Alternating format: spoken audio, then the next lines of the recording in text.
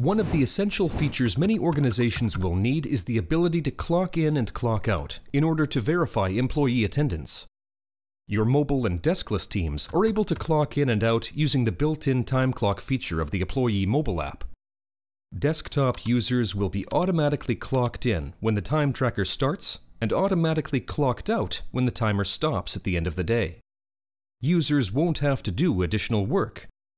They will simply track the time from the desktop app, and clock in and clock out times will be automatically calculated.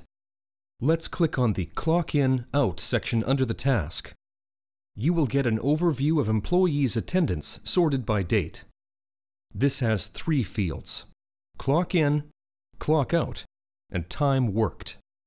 Note that the difference between the clock in and out is subjected to the breaks an employee takes during the day.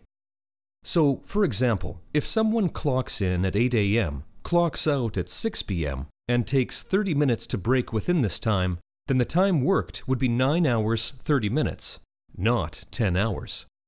Absent employees are shown with an empty field with no timesheet. You can also go to the Report section by clicking here. In the timesheet feature of Apploye, you will be acknowledged about the timesheets that are being created by the employees.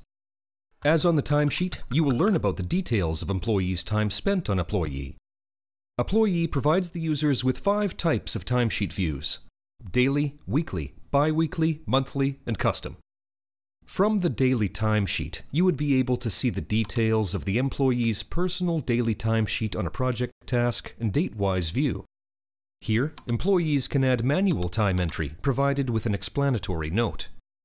As an admin, you can allow or deny manual time entry options from settings. Let's move on to the weekly timesheet. Here, you can select the filters based on task, project, and member. By default, the weekly timesheet is set to show all employees' work week.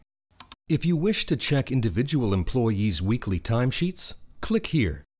A bi-weekly timesheet is set to show team members' timesheets in 14 days period. The monthly section of the timesheet will show the total timesheet for any specific month. This will give you an idea of the total hours worked in a given month. To check your employees' monthly timesheets, select a specific employee from the Member option. The last one is the Custom Timesheet. In this section, you can see the employee's timesheets on a custom date range. There it is. You are good to go. Enjoy tracking time with Apploye. If you have any queries, feel free to browse our knowledge base from apploye.com/help or contact us at support at apploye.com.